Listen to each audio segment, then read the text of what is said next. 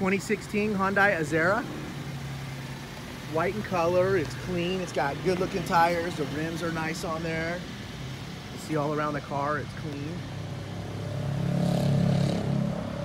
Got the backup camera, back end's clean. This side looks great as well.